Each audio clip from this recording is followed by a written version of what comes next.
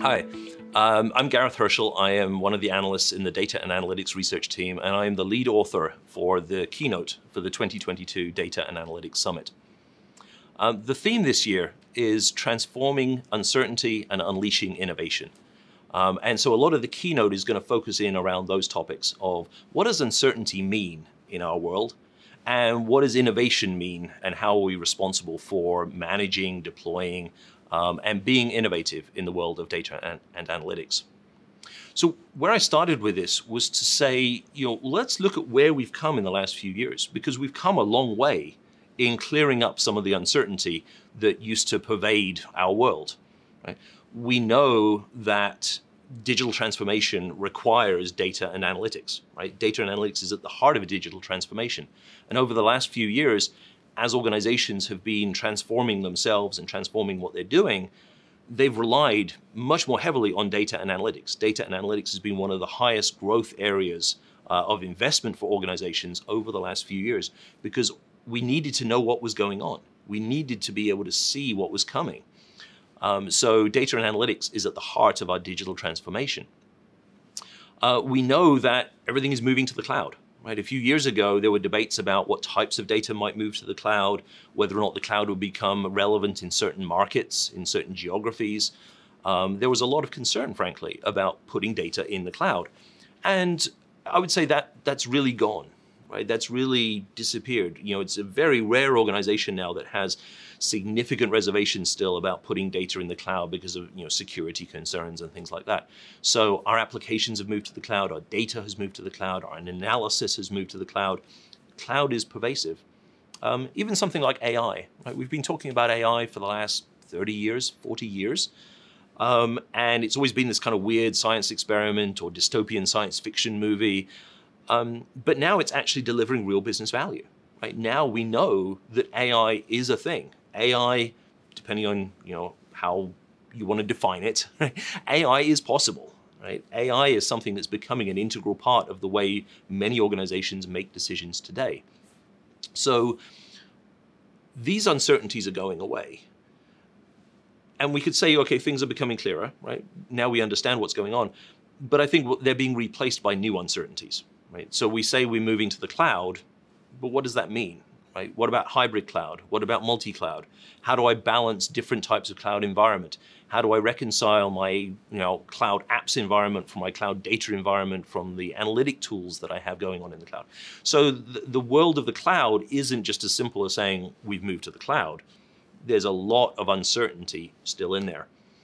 And I think that's the situation that we are today is we we've uh, cleared up some uncertainties, but we've replaced them with others, and probably more of them than we had before. I would say that we are in what I might call an era of perpetual uncertainty. Right? Things are never going to be as stable as they were. Things will never be as stable in the future, even as they are today. Right? The world we are in is evolving and is rapidly evolving, rapidly changing, and bringing with it new questions, new uncertainties that we have to deal with as an organization. So if you're waiting for like this phase to pass, it won't. We have to get rid, we have to get used to the idea that this is the new normal, right? The new normal is there is no normal anymore. Things are always changing. But I think that gives us an opportunity because your uncertainty implies a mandate for change if the world around us is changing, the expectation is that we should change as well, right? So no matter if you're a very conservative organization or a very successful organization, you still have that need to continually improve in order to maintain you know, your performance, in order to maintain your relevance. Take um, Formula One as, as my new favorite example. I'm really sucked into Formula One uh, over the last uh, little while. Um, and one of the, the, the, data points, one of the things that really stuck with me was this idea that the car that wins the first race of the season, right, the fastest car uh, of all of the participants, if they don't continuously improve, by the time the last race of the season comes around, they will be dead last. Those teams that industry recognizes that the uncertainty, the challenge that they face is how to continually improve. They know they need to do it. Now, that continuous improvement means innovation. And that's where one of the themes for the summit comes in the idea of innovation. How are we innovative in our use of data and analytics, as well as how are we innovative with data and analytics, right? How does, how does data and analytics make us a more innovative organization? So we need to think about innovation. And one of the things that I'd really like you to, to, to, to, to, to think about or to acknowledge is that innovation is not the same as creativity. Very often we, limp, we kind of lump those two together, or we conflate the two, right? Innovation, creativity, it's the same thing. The distinction I think is really important to draw is that creativity is coming up with an idea, right? It's coming up with a new thought, a new idea. Innovation is making that new idea happen, right? So innovation is creativity plus execution, right? Innovation is creativity plus the ability to take that idea and operationalize it and deploy it and make it deliver business impact. So we can't just be talking about creativity. We have to be talking about innovation. And that means a much broader lens, a much broader view of how data and analytics can help. Right? It means not just using data and analytics to come up with ideas, but to make sure those ideas really have impact, really are useful and used by the organization. So what does that mean? And especially in the context of uncertainty. Because I think one way to think about this is that data or data and analytics transforms our ability to understand the world around us. Right? It gives us visibility into that world around us. And visibility transforms uncertainty. Right? If I don't know something, then it's very difficult for me to understand it. Right? There's a lot of uncertainty there. Let me give you another a, a kind of an example or a way of thinking about this. Think about poker and think about chess. Right? What's the difference between those two? And you know, there's thousands of differences. But it, in a game of poker, you can't see the other person's cards. There's uncertainty there right? You don't know what cards they're holding. You know what cards you've got, you know what cards are on the table in front of you, but you don't know what cards they have. There's uncertainty. A game of chess, there's still uncertainty. You don't know what the opponent's strategy is, but all of the pieces are there on the table in front of you. There's no secrets, there's no hidden pieces, there's nothing there. Everything you need to know about the game is right there, apart from the uncertainty about what the other player is thinking. And I think that idea is a useful kind of metaphor for us to use around data and analytics, because data and analytics enables us to transform our understanding of our environment. Right? It brings us visibility, and visibility transforms uncertainty. So let me talk about three key changes that we see in terms of what data and analytics means to us. The first one is that we need smart data, not big data. Right? We've gotten lazy in terms of just the ability to capture all this data and all this data is flooding at us, all this data is available and we just capture all of it, even if we don't know really what we're doing with it, right? Even if we're not sure what value it might have, we still get in this habit of kind of capturing all of it. So what we really need to think about is how do we become smarter with our data? Right? How do we make sure the data we're collecting is really giving us new insights? It's teaching us something new about the world around us. And a couple of things we can think about there. One is extending the reach of our senses. Right? So often a lot of the data we have is relatively close in. It's the data that's in our operational systems that are already data enabled. They're already used to capturing and generating data. Now what we have is the ability to get data from the very edge, right? IoT devices, sensor devices, data from the edge, or data from other organizations data from third-party organizations, part of our ecosystem. So now we have the ability to extend the reach of our data way beyond our traditional core systems into those very edge systems and into our ecosystem to collect data, insights, understanding, visibility from there. The other big change in the world of, of data and smart data is this idea that we can create our own data, right? We can create new graph-enabled metadata you know, better understanding of the data that we have in our organization and how it relates to itself. We can create synthetic data. We can create data that is a synthetic, um, but uh, kind of a, a, proxy for real data.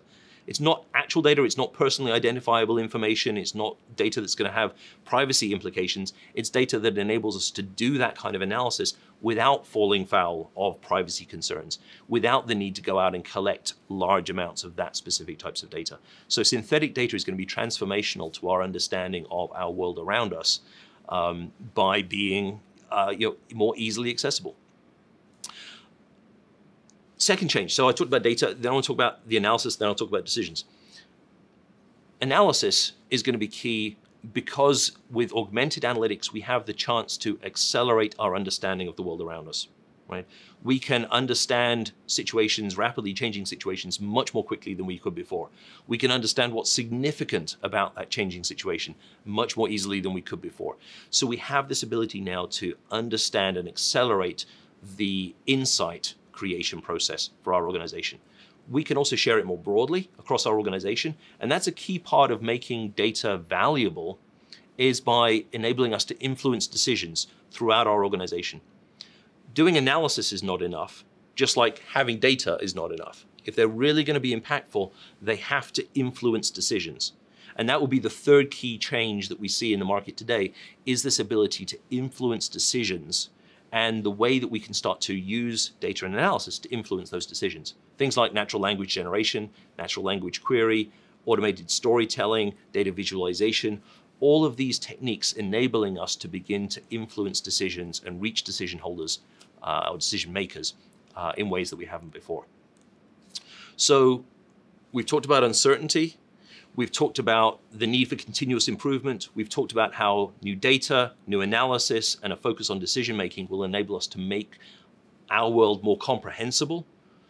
The last point I want to make is around how we change our thinking. Because one size does not fit all. But too often, our data governance and data and analytics governance initiatives have behaved as if there's one style of governance that is applicable for all of our data, for all of our analysis, for all of our decision making.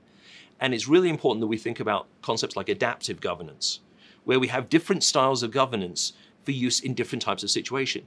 We do have control-based governance for things like regulated data, for secure data, you know, for data privacy. But we also have data that enables innovation, enables agility, enables automated um, governance because that enables us to fit the right style of governance for the right style of decision making. So that's how we begin to unleash innovation across our organization is by removing some of the governance constraints that have, frankly have been overly engineered to a lowest common denominator and instead think about how they're relevant in different situations.